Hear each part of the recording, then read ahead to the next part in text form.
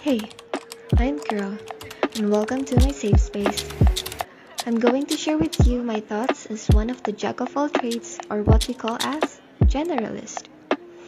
Even though no one is asking, I sometimes think that being a generalist is a curse to show interest in whatever I see, and I think of it as risky because we don't specialize in one thing.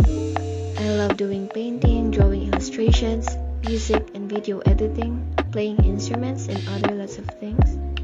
I oftentimes feel lost, but it comforts me that some people can think of me as a person that can survive in situation, and that at least, as they say, I have a lot of skills and got a little bit of interest in everything.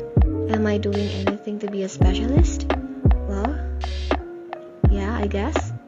They say that being a generalist and specialist at the same time is really good, and I'm trying to be both without pressuring myself. I think. Also, I always keep a piece of advice for myself, and these advices really help me. I'm very thankful to whoever made the advice quotes. So, here, always do your best. Remember that you will die, so enjoy each pleasure of the world has to offer. So, yeah. Also, I wanted to say hello to all fellow generalists. And that's it.